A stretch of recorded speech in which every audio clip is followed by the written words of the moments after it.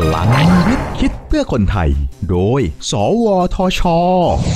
ตอนโครงการวิทยาศาสตร์และเทคโนโลยีตามพระราชดำริ ความรู้ด้านวิทยาศาสตร์และเทคโนโลยี เป็นสิ่งสำคัญในโลกยุคปัจจุบัน สมเด็จพระเทพรัตนราชสุดา สยามบรมราชกุมารีทรงเป็นแบบอย่างที่ดีของผู้ที่เรียนรู้ และติดตามความก้าวหน้าของวิทยาศาสตร์ และเทคโนโลยีสาขาต่างๆ อยู่เสมอ รวมทั้งทรงเป็นแบบอย่างในการนำองค์ความรู้เหล่านั้น มาใช้ประโยชน์ได้อย่างชาญฉลาดนะครับ ทรัพยากรบุคคลด้านวิทยาศาสตร์ และเทคโนโลยี คือรากฐานสำคัญในการพัฒนาประเทศ โครงการด้านวิทยาศาสตร์ และเทคโนโลยีตามพระราชดำริ จึงได้ถือกำเนิดขึ้น เพื่อสร้างและพัฒนาบุคลากร ผ่านการสนับสนุนทุนการศึกษา การฝึกอบรมระยะสั้น ตลอดจนการสร้างเครือข่ายนักวิจัย และสนับสนุนให้มีการทำงานวิจัย ร่วมกับนักวิจัยจากสถาบันระดับแนวหน้าของโลกสำหรับนักวิทยาศาสตร์รุ่นใหม่ของไทย ทรงส่งเสริมให้ได้มีโอกาสเดินทางไปศึกษาดูงานและฝึกอบรม ตลอดจนร่วมประชุมในสถาบันระดับโลก เช่นการเข้าร่วมงานประชุมผู้ได้รับรางวัลโนเบลสาขาวิทยาศาสตร์ที่เมืองลินเดา ประเทศเยอรมนี การเข้าค่ายอบรมภาคฤดูร้อนที่เซิร์นและเดซี่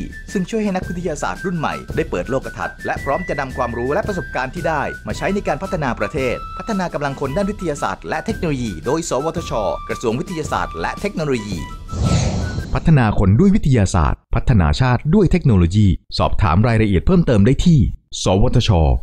02 564 8000